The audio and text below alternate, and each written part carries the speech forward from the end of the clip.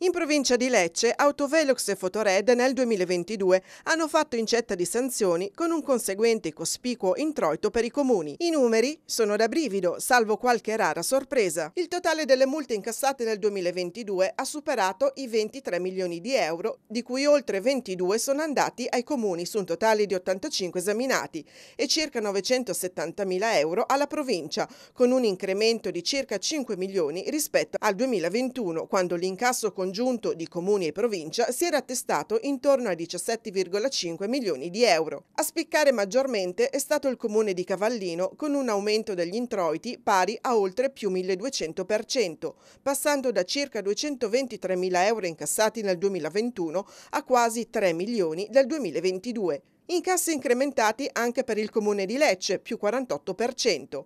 Rispetto al 2021 hanno registrato un deciso aumento anche i comuni di Surbo, Squinzano e Trepuzzi, incassi quasi raddoppiati per Porto Cesario che nel 2021 aveva incassato circa 225 mila euro, mentre nel 2022 è arrivato a 415 mila.